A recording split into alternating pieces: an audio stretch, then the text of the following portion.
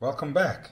And in this presentation, part number eight, we are going to be measuring the front apron as well as the back apron. Recap. The customer's waist is 34, the hips are 40. So, what I've got to do is I've got to halve that which is 17 and half that which is 20 so we've already worked on the back and we know that those are perfect. So all I'm going to be doing now is taking the the rest from the front and aligning it with the back. So on this tartan you can see I've got a, a blue line black line blue line black line blue line, black line. Now with a four yard, you've got very minimal tartan to work with. If I had taken the black line, exactly the same as the black on, on the back, I wouldn't have enough material and here's the problem Alright, so let me find a middle line.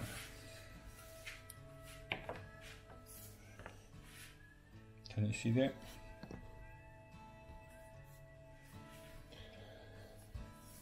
So I need 17. I fold my tape in half.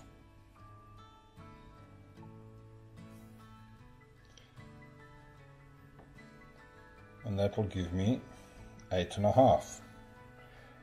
So if I go eight and a half there on this red line, because you want a prominent line, let's move this one, let's mark this, the 17 there,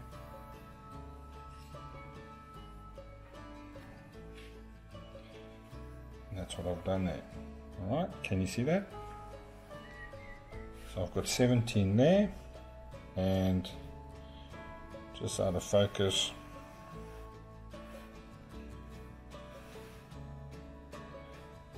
Is there. Alright, now what I want to do as a kilt maker, you want at least a hand width of material here for a nice heavy pleat. If you have a small one, then the front apron becomes very, very flimsy. So may I suggest a nice heavy, heavy hand. There it is there. Alright, there it is there, a nice heavy hand. So if I'm going to the front apron there,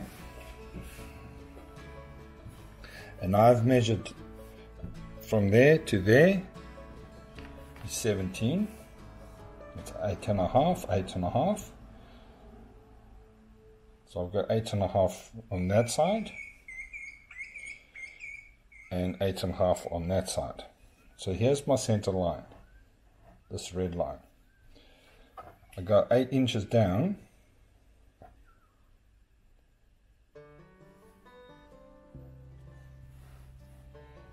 Eight inches down.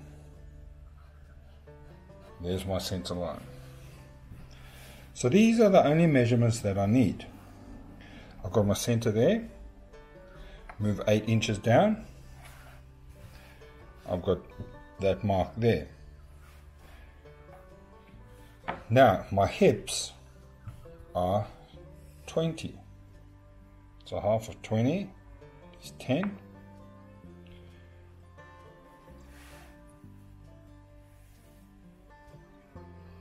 So this side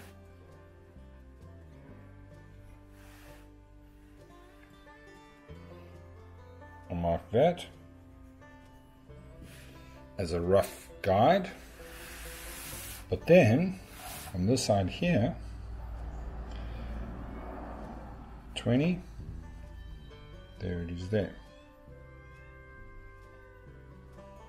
There it is there. So what's going to happen now is I take this line and that line, pinch the two together, fold it over and bring it towards my kilt.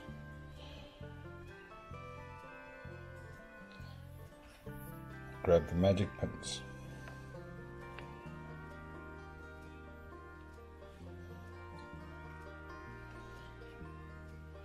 And again, we're not, we're only just pinning just to get an eye overview, just to see what it looks like. So now I've got my kilt that looks like that. I've got the back. I've just pinned those. There's my front. There's the center. There's the end. And there's the end over there. So technically what should happen is my kilt should look something like that and then go all the way down to can you see with this piece here with my hand I've got enough just going in over there and that's what I want.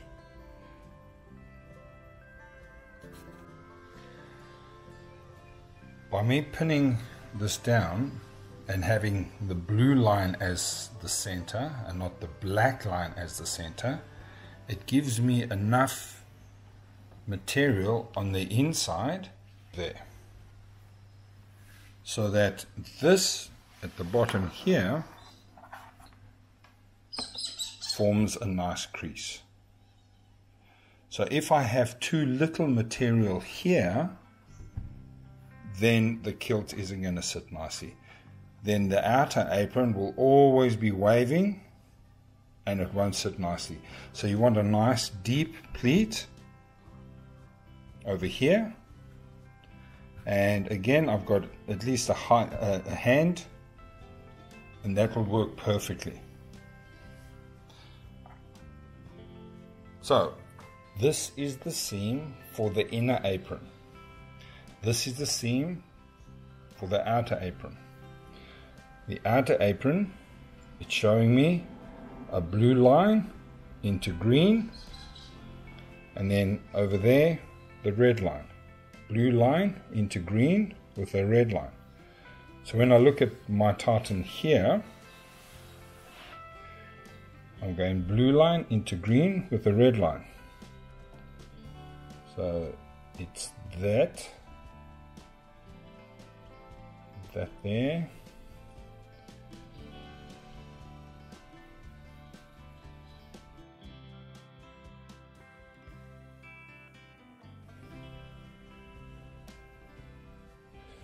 So that looks something like that.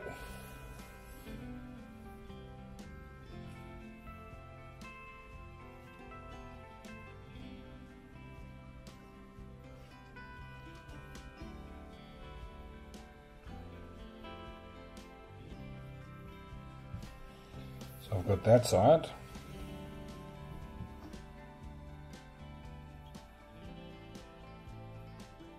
Looking like that side. So we know that the, the back is 17 and then as I'm putting the tape out the client is at 36 right? But when it's the inside apron you always add another inch. Because this inch gets your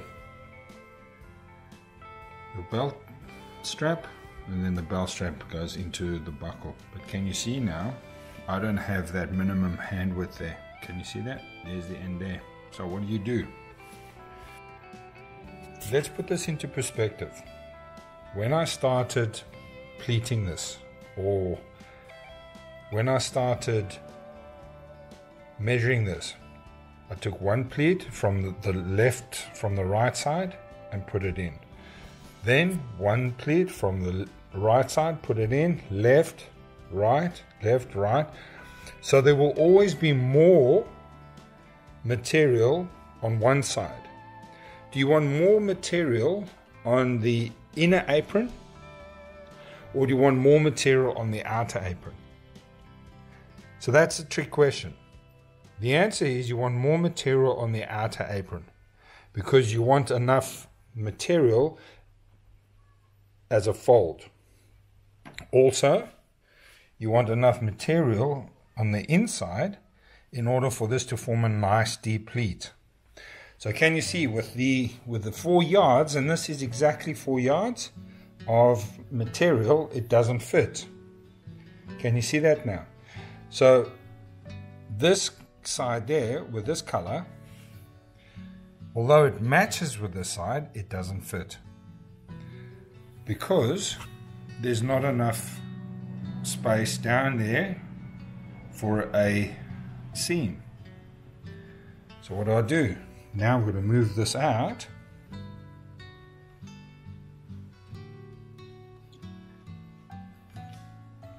Although this was a nice deep pleat, can you see it's nice and deep there? Now I've got to go for plan B. So this one there didn't work.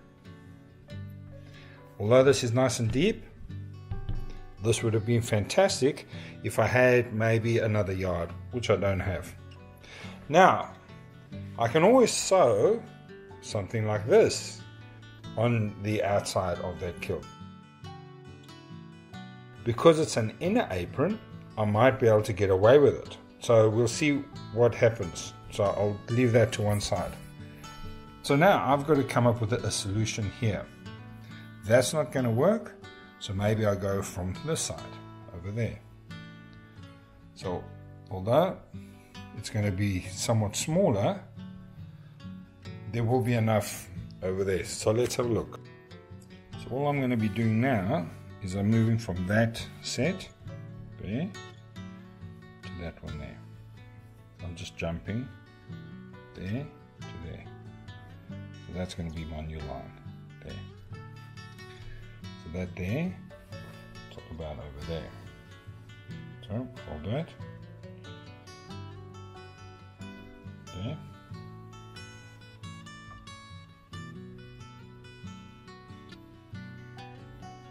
Something like that.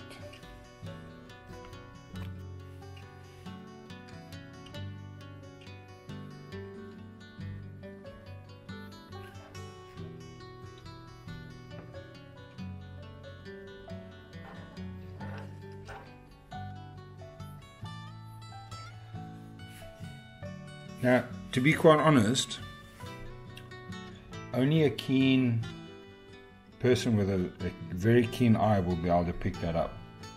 I've already made a four yard kilt, and this is exactly the same problem that I came with mine. I did call the owner of this kilt when I initially bought the material from him, and I said, Oh, when you're going to be making this kilt, this is going to be the problem. So now we're going to look at something like this. So the outer apron will have a blue seam and the inner apron will have a black seam. Not a major drama. What can you do? You only got a certain amount of material to play with. But it'll look nice and neat. So always err on the side of more material on the outer apron Right, so we've got 17 there, and we want 38 there.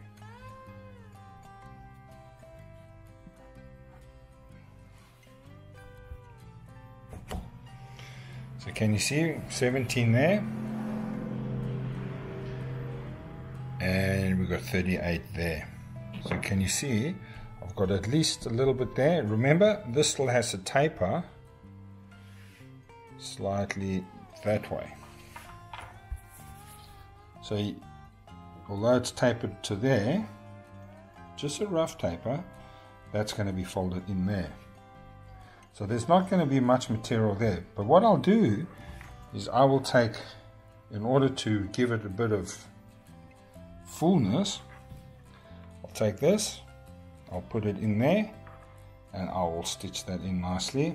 And that will be another presentation when we get to it. So in summary, we've got 17 inches on the back. The outer apron will be at 37 inches, the outer apron, with that center blue being the center line. Then, if I scroll to this side, my inner apron will have that black instead of the blue. It will have slightly less material here, but then I've got enough material over there in order to now finish it off. If I moved it a whole set that way there, that wouldn't have worked.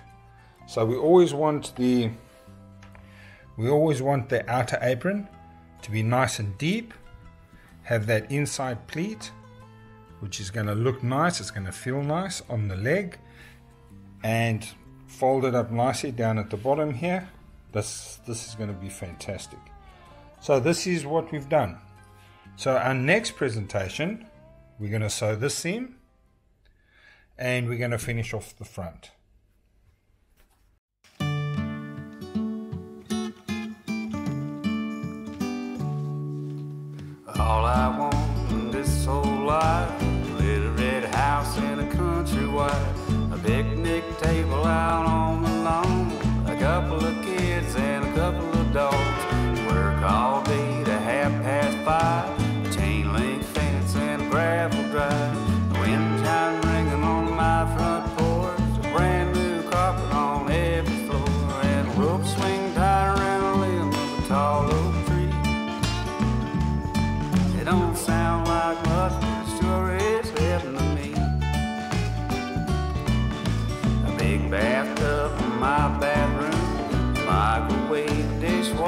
Too. The folks say hi when they pass on the street. A clean pair of socks every day